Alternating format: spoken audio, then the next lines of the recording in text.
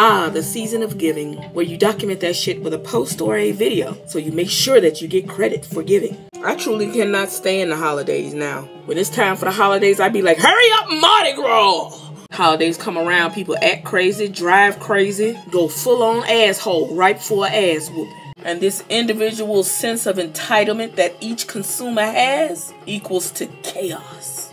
Problem I have with the holidays is that everybody has taken out the festivity of the holidays. It's just gone. And not just the retailers, but it's the schools, our jobs, our families, everybody. It's all about turning a buck. And some of us have kept Christmas in our homes, but we have to admit, it's more to the holidays than just putting up decorations. I miss the diversity of Christmas. People are so into this race shit, they no longer use Christmas to bring people together. And the radio used to play holiday songs. The new ones came out every year. Now they play old shit. Cause nobody making Christmas music no more. The Christmas parties are void of unity. Churches are just pretty much absent. Thanksgiving and Christmas pageants, gone. All they want for us to do now for the holidays is buy some shit, buy food, buy the holidays, purchase, buy and get gift cards. And I feel sorry for the people that are like 25 and younger because unless your family is close knit, you getting raw. And when you came back to school, they used to have you write an essay about what you did for the holidays. Now people just get on the internet and brag about what they got.